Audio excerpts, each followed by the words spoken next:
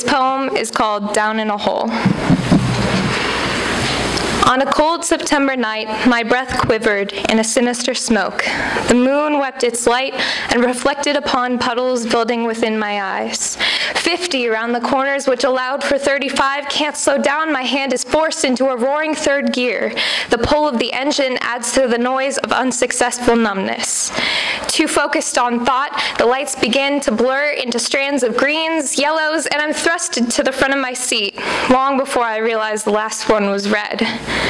Playing down in a hole can no longer convince me there's someone further in. No volume suitable on the car stereo for me to forget the mess that will result in my arrival.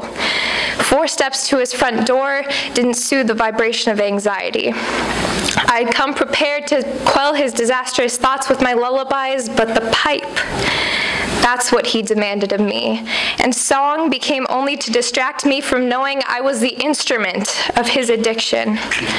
I grew tired pretending the walls were so interesting to avoid eye contact whenever he looked up at me.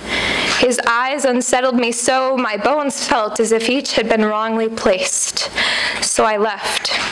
Four steps to the car door felt like steps through marshes of madness. I settled in the cool cloth seats, but my intuition told me I couldn't be safe there either. On a cold September night, the sinister smoke sent shivers so aggressively to my spine that when the moon wept, I saw the stars swim and spiral like the starry night. I wonder if Van Gogh saw his kindred spirit turn to skin. I saw the green blues of his eyes all fading to a muddy gray of the concrete as I drove further and further from the man I was never stable enough to revive. The needle, hidden with hopeful intentions in the glove box, tempted me to swirl within the starry night's eerie turbulence. The anxious syringe magnetized itself to my whimpering veins.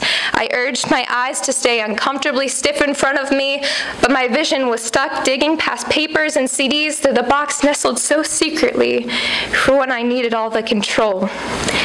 Manic euphoria soothed me into my only sane corner of hell. I'm living down in a hole, and I don't know if I can be saved. I'm greeted by somber silence. All I can hear is buzzing, and it tells me that I can stay here in the overwhelming heat forever. Sobriety suffocates the air around me. This is the last trip I'll take down in a hole with you. Our arms aren't strong enough for embrace, and our hands are far too crippled for connection.